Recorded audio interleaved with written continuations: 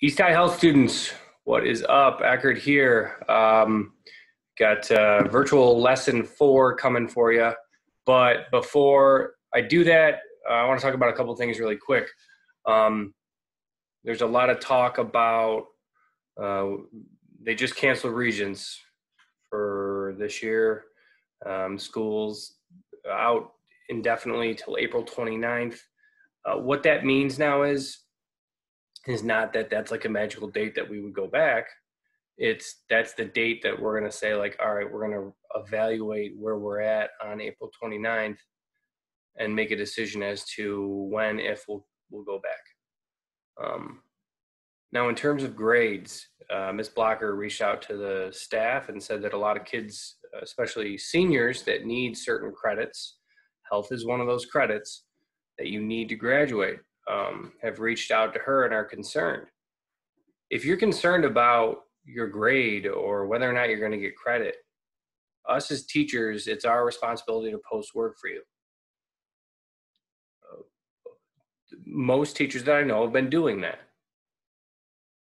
in the end of this, what I think is going to happen, I'm not saying what I know is going to happen, but what I have, just like I, when the, the, the week before we went out, I was saying that we're not going to have school and bring your Chromebooks home. Um, I have a, an idea of what's going to happen. And normally what can happen is, let's say that you don't do any work throughout the school year. Um, in school, you're, you're rarely in class but then at the end of the year, the teacher can make a decision based on if they've given you some independent learning or independent study. And they can say that this student has met the requirement for my class for graduation. It's a teacher's decision. I think that at the end of this, that's what's going to happen. So all I can say is that if you're very concerned about getting the credit, do the work that we're that your teachers, myself included, are posting for you online. Do it to the best of your ability. Show that you know the content and you'll pass. I've tried to make class as easy as possible for people, and I've asked questions about, hey, what do you what do you think of this? And I think that I've streamlined this enough that you're still getting in-class experience, and that if you do answer the questions that I give you, you're meeting the content uh, you're you're you're knowing the content you're meeting the requirement and in the, in the end of this obviously you know you're going to get a passing grade. With that being said i'm going to share my screen. Before i start the lesson i want to share my screen and show you where we're at with work. So if i go into google classroom my 2AC group. Let's go to comprehensive health 2AC.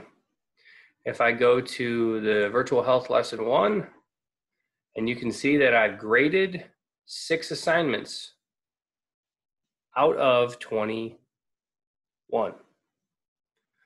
That's a lot of missing assignments right there. If you were on the cusp of not doing so well in marking period three, and you're one of these missing uh, assignments, you're gonna you're you might not pass. Let's go to 4AC. 4AC's been doing a little bit better. I look at the first lesson. I have eight finished. 17 kids still haven't done anything. Still a lot of kids, but at least there's eight kids that I've graded. And I've graded everything up till now. I did that yesterday. I graded everything. And then my last class, 4BD, which is my biggest class, mind you. So you would think that the biggest amount of work was done in this class. the least amount of work has been done in this class, which is highly concerning because I know a lot of individuals in that class were worried about their grade. I will applaud uh, Adrieshka, John Well, Andre, and Justice. I think you got to do one more, but um, you guys have been doing the work. But the rest of the class has not. Um, so I'm going to keep posting assignments. And I know for marking period three, what they're going to say is, you know, we went out and we had most of marking period three done and taken care of. Don't, you know, don't count the work that you gave from home against them. Okay. But when we get to marking period four, we got to grade you on something, right? And this is what we're going to be grading you on. So make sure you get this stuff done. Now, I'm going to end this video because that was like a little update. How you guys doing? Filling on what I know right now. And now I'm going to go over and I'll start a new lesson.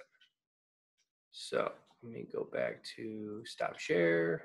Hey, I'm going to stop.